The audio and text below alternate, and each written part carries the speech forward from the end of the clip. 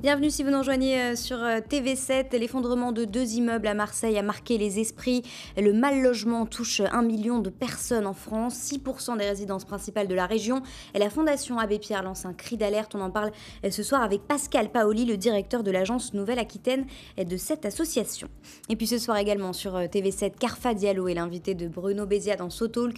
Il vient nous parler notamment du Black History Month qui a lieu le mois prochain et de son association Mémoire et Partage qui milite pour que les traces de l'esclavage soient mieux connues à Bordeaux. À retrouver également ce soir euh, sur TV7 votre émission Europe. On vous emmène à Limoges découvrir la céramique du futur. Et tout de suite les titres de votre journal.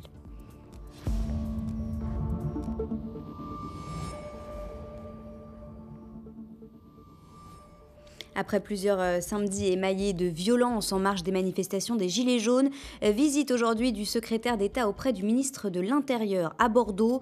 Euh, Laurent Nunez a assuré qu'un dispositif exceptionnel serait mis en place pour éviter les débordements ce week-end. Le désespoir des commerçants du centre-ville à Bordeaux, leur chiffre d'affaires est largement impacté par les mobilisations des Gilets jaunes tous les samedis. Ils veulent croire que les soldes pourront les aider à relever la tête. Réduire les fractures sociales, c'est une priorité absolue pour euh, le département. Euh, Jean-Luc Glaise, le président de la Gironde, présentait aujourd'hui euh, ses vœux. Il a lui aussi exprimé ses inquiétudes face à la crise que traverse le pays. La météo et le froid qui continue. Couvrez-vous bien demain matin. Les températures seront négatives un peu partout sur le département. L'après-midi, le ciel sera partagé entre nuages et éclaircies. Température maximale qui reste fraîche entre 4 et 8 degrés.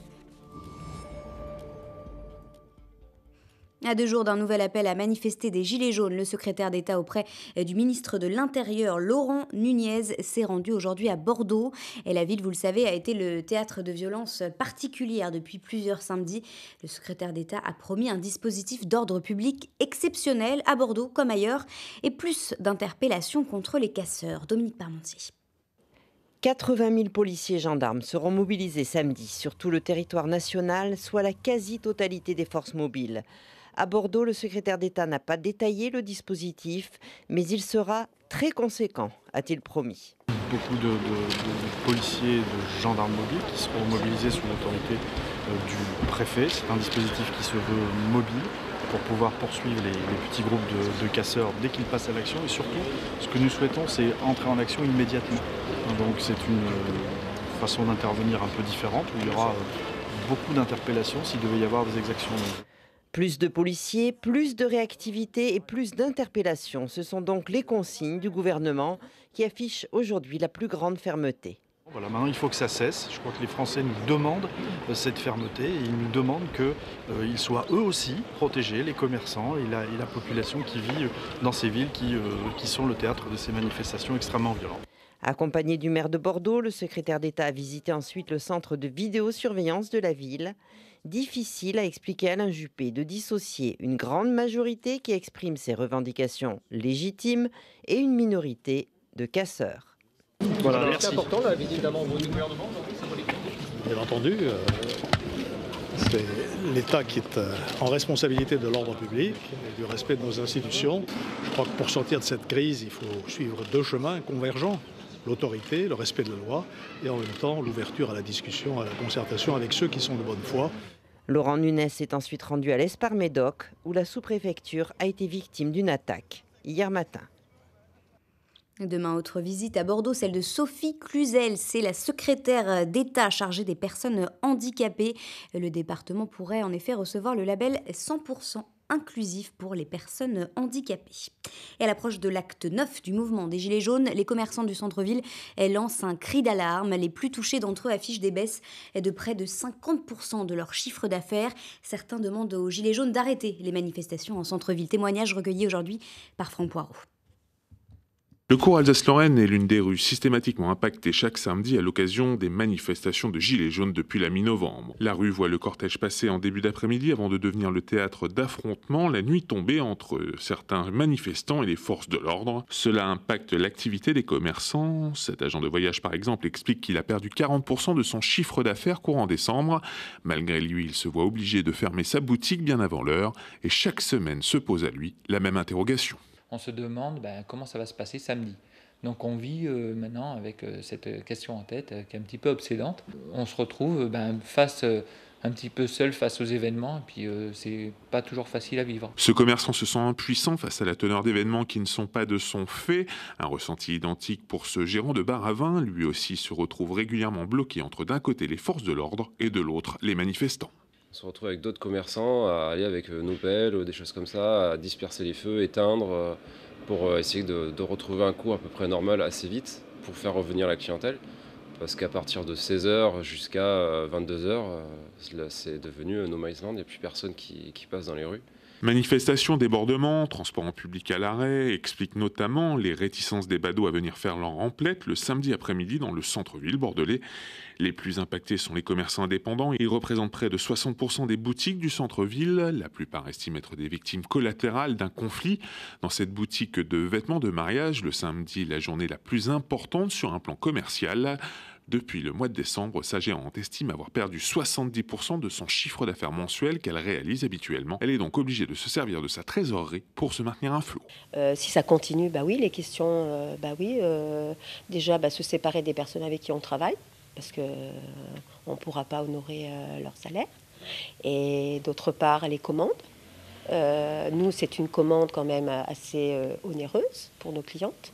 Donc, bah, si on n'a pas la trésorerie, bah, on ne pourra pas continuer. Et c'est justement le problème, depuis la mi-novembre, les trésoreries de ces commerçants sont mises à mal faute d'activité commerciale. C'est le cas pour cette jeune boutique située rue Saint-James, à côté du cours Alsace-Lorraine. On était en train de se, la faire. Donc oui, c'est mon cas, ouais. On était en train de la constituer et puis bah forcément bah on vient on vient on vient piquer dedans parce que parce que parce que parce que l'argent rentre pas donc euh, forcément euh, voilà. Donc euh, quand c'est comme ça bah on se paye pas. On bosse 7 sur 7 et, et on se paye pas. Un commerçant indépendant du centre-ville sur 10 serait aujourd'hui en grande difficulté financière après les événements de la mi-novembre et du mois de décembre. Tous espèrent que le climat anxiogène qui règne autour de leur activité va enfin se terminer. Tous disent ne pas être opposés aux revendications des Gilets jaunes, mais tous espèrent une sortie de crise rapide pour retrouver une certaine forme de sérénité pour l'avenir. Et le président de l'association euh, La Ronde des quartiers, Christian Baulm, avait justement réuni ce matin les commerçants du centre-ville pour faire euh, le point sur les conséquences de ces manifestations. Pour lui, les soldes qui viennent de débuter sont un moment plus que jamais crucial pour ces commerçants. Écoutez.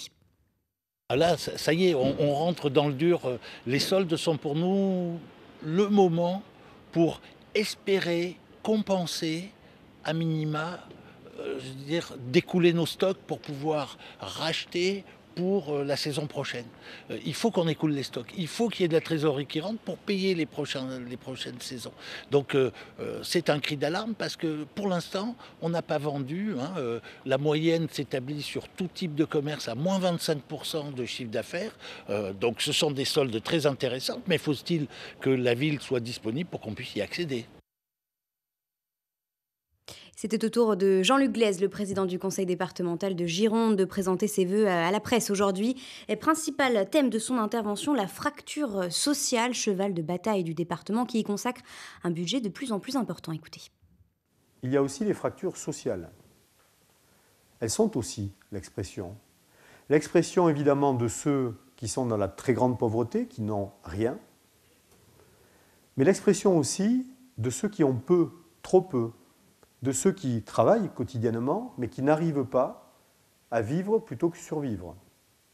Je pense aussi euh, à ces personnes qui sont obligées d'arrêter de, travailler ou de mettre entre parenthèses leur parcours professionnel pour devenir aidant d'un enfant handicapé ou accompagnant, aidant d'une personne âgée. Il faut que vous reteniez un seul chiffre, je l'avais annoncé lors du vote du budget, mais ayez-le en tête, un seul chiffre qui est un milliard d'euros. Un milliard d'euros, c'est ce que nous consacrons en 2019 à l'action sociale, à la solidarité. C'est un record dans ce département. Je me souviens, lorsque j'étais élu il y a quelques années, nous étions à 650 millions d'euros. Nous sommes arrivés au milliard. D'abord parce qu'il y a des habitants supplémentaires qui arrivent dans ce département, et tous ne vont pas bien. Certains aussi sont âgés, nécessitent de l'aide personnalisée à l'autonomie. D'autres sont handicapés de la prestation de compensation du handicap, d'autres du RSA. Bref, tout cela fait que l'action sociale, dans son accompagnement aussi, en dehors des allocations elles-mêmes, nécessite des coûts importants. Je pense aussi aux établissements médico-sociaux. Jean-Luc Glaise a également répondu à Alain Juppé, le maire de Bordeaux, lors de ses vœux hier, a appelé à ce que la région, le département et la métropole s'assoient ensemble autour de la table pour des assises du territoire, des assises possibles seulement si Alain Juppé renonce au projet de métropolisation pour le président du département. J'ai noté euh, hier dans les propos du président de Bordeaux Métropole euh, le fait qu'il euh, souhaitait que le président du département et le président de la région travaillent ensemble à des assises des territoires. C'est une bonne nouvelle. Je ne sais pas si c'est une prise de conscience, une, lucidité accentuée désormais sur cette question. En tout cas, euh, pour ce qui nous concerne, nous avons toujours été convaincus de la nécessité de travailler sur l'interdépendance des territoires et la complémentarité, en évitant absolument la rupture et la fracture. Donc cette proposition, c'est une proposition intéressante. Par contre, il y a un prérequis à toute démarche d'acceptation de ma part à cette proposition d'assise des territoires c'est que le président de Bordeaux Métropole se prononce clairement contre la métropolisation. Je ne peux pas envisager de réfléchir à l'interdépendance des territoires si la métropolisation est encore à l'ordre du jour. L'ouverture euh, le dimanche fait des remous à la bibliothèque de Mériadec, annoncée par euh, Alain Juppé à partir de ce dimanche 13 euh, janvier. Tous les après-midi, l'ouverture le dimanche n'est pas vue d'un très bon œil par les syndicats. Et la CGT a lancé aujourd'hui un appel à la grève et un rassemblement ce dimanche à 13h30 devant la bibliothèque.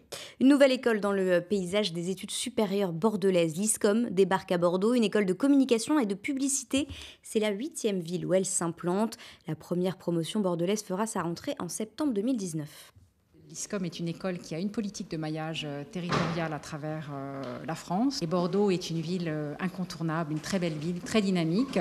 C'est un beau tissu d'entreprises avec lesquels nous comptons nouer les liens que nous avons noués avec les partenaires professionnels sur l'ensemble du territoire, à la fois en matière de recherche de talents, d'encouragement d'encouragement à, l'entrepreneuriat, en matière de partage de contenu euh, et de compétences, en création d'événements euh, dédiés au secteur euh, professionnel. Voilà, voilà nos projets pour Bordeaux. L'ISCOM, c'est l'éthique, c'est l'ADN qui qui me plaît. C'est les valeurs humanistes et surtout, dans les valeurs pédagogiques, c'est de placer l'étudiant au cœur du dispositif. Et c'est la raison principale pour laquelle j'ai accepté de relever ce challenge. Puis à noter ce bon bilan pour euh, la Cité du Vin en 2018. 421 000 visiteurs s'y sont rendus l'an dernier et c'est 22% de plus qu'en 2017. À noter également le passage symbolique du million de visiteurs depuis son ouverture en 2016. Le CES de Las Vegas, le célèbre salon de l'innovation mondiale, se poursuit euh, toute cette semaine. 28 startups de la région y sont présentes. Alors quelles sont les tendances euh, cette année parmi les centaines d'innovations présentées? Réponse avec Laetitia Langela sur place. Chaque année, au CES, ce sont 20 000 innovations qui sont présentées. Parmi les produits qui attirent beaucoup le public cette année, les voitures autonomes hyper connectées. Difficile pour le reste de se faire une idée sur ce que sera notre environnement demain. Nous avons eu la chance de rencontrer le spécialiste, blogueur, influenceur, auteur chaque année d'un rapport de 400 pages sur le CES. Il apparaît relativement peu de nouvelles technologies pendant le salon il y a quelques startups qui présentent des choses au moment du salon, mais les grands acteurs, ils font de la recherche et développement toute l'année, ils inventent de nouveaux écrans, de nouveaux processeurs. Ce qui se passe sur le salon, c'est que les constructeurs, bon, typiquement on prend Samsung, un exemple, ou LG, qui sont les, gros acteurs du salon, ils vont quand même annoncer des, technologies. Mais par exemple, cette année, ils ont annoncé une version commerciale de leur écran OLED enroulable. Ça fait rêver, c'est sympa. Sauf qu'ils l'ont montré l'année dernière. Sauf qu'à l'époque, c'était un proto. Là, ça devient un produit commercial. Autre exemple, la 5G. La 5G, c'est une tendance, au sens où il y a de plus en plus de composants électroniques qui apparaissent, d'opérateurs qui se mettent à lancer des tests, d'équipementiers qui créent des infrastructures, sauf que ça ne deviendra des offres grand public qu'à partir de 2020 dans le meilleur des cas. Il y a très peu de technologies qui arrivent comme ça brutalement une année. L'édition 2019 du CES est marquée par un autre secteur d'activité, celui de la santé. Euh, le sujet de la santé et du bien-être est devenu le premier sujet des, entreprises françaises présentes au CES. Ça couvre le sommeil, les bébés, ça couvre le séquençage de l'ADN, ça couvre euh, d'autres sujets comme par exemple euh, les électrocardiogrammes. Il y a de plus en plus de solutions pour mesurer notre santé au niveau du cerveau, du cœur, l'analyse biologique. Beaucoup de startups essayent de, de suivre finalement notre santé d'une manière ou d'une autre. Puis un mot de football et une belle euh, opportunité pour les Girondins d'aller chercher un titre. Les Bordelais se sont qualifiés hier pour euh, les demi-finales de la Coupe de la Ligue en battant le Havre 1 à 0. Une demi-finale sans le PSG puisque l'ogre parisien a été éliminé hier face à Guingamp. Mais pas question de s'emballer pour autant pour les Girondins. Écoutez. Quand on voit une première mi-temps comme ça, il n'y a, a, rien qui, sort, y a, ça ne part pas. Et puis on se dit, mais j'espère qu'en la deuxième, on va pas refaire la même chose. Puis en deuxième, c'est reparti un petit peu, on a vu des choses, bon, ils se sont lâchés. Et c'est bien, c'est bien aussi de souffrir un peu de temps en temps, ça fait du bien. Les coupes, c'est compliqué, c'est très compliqué. Pour aller au bout, c'est très compliqué. Pour la gagner, c'est très compliqué. Donc euh, il faut faire attention. Nous, si on peut aller jusqu'au bout, on va pas se gêner. Mais c'est pareil pour Guingamp, c'est pareil pour Strasbourg, c'est pareil pour Monaco. Il faut, regarder, faut regarder devant. Bien évidemment, il ne faut pas occulter tout ce qui n'a pas fonctionné pour euh, progresser à l'avenir et sur, les matchs qui, vont arriver. Mais euh, au final, il y a quelque chose de très très positif. Une demi-finale de, Coupe de la Ligue. C'est bien que c'est une compétition qui nous permet euh, le plus rapidement d'accéder à une, place européenne. Donc c'est quelque chose de, très positif quand même à la fin de, de ce match d'hier du côté euh, de l'UBB, après sa déception à Pau, l'Union Bordeaux-Bègle se rend demain à Perpignan pour un match de Challenge Cup. Une rencontre sans enjeu, mais avec une équipe très remaniée. La GURP TT aura bien lieu ce week-end. La course de moto euh, qui se déroule chaque année sur la plage de Graillan et l'hôpital était euh, menacé pour cause de conditions environnementales. Le préfet a finalement annoncé que de réelles avancées, euh, selon ses mots, pour euh, protéger l'environnement avaient été montrées par les organisateurs. La course aura donc lieu euh, ce week-end. Le point rapidement sur vos conditions de circulation. Attention, le pont d'Aquitaine est fermé cette nuit de 21h ce soir à vendredi 6h du matin pour cause de travaux d'entretien. Des déviations sont bien sûr mises en place. Vous restez avec nous tout de suite avec notre invité. On parle du mal logement. La Fondation Abbé Pierre lance un cri d'alerte. Thank you.